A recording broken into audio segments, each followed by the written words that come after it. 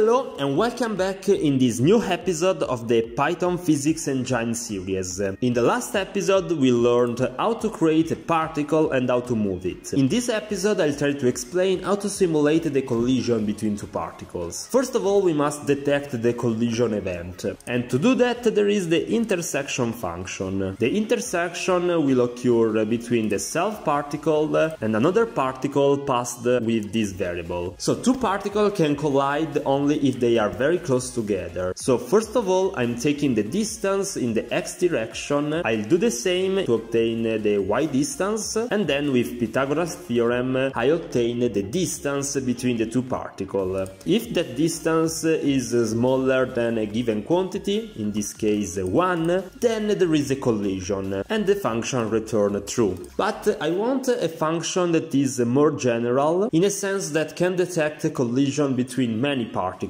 How many? n particles. And to do that I must assign an index for each particle. I must enter in a for loop and repeat this procedure for all the particles. So I don't only return a true, but also the index of the particles and the false variable must be returned if there is no collision. And obviously I don't want that the particle collide with itself because uh, it is impossible if we don't consider quantum world and so I must consider also this other statement. Okay, so now we have a function that uh, can detect a collision, but uh, what happened during a collision? This is the side inside the scatter function. We must use physics to understand the velocity of both particles. So we are considering elastic collision in which both momentum and kinetic energy will be conserved.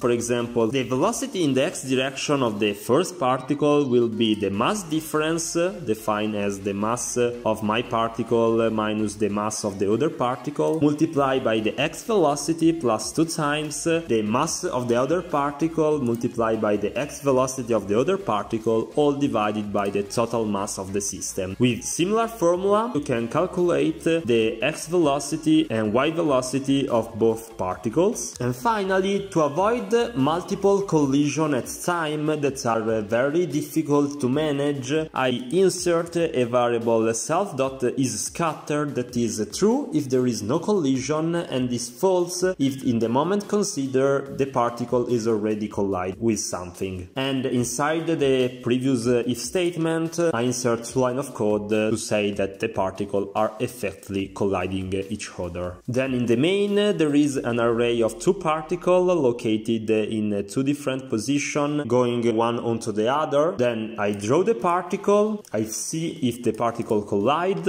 and finally I move the particle and I reset the scattering variable to true.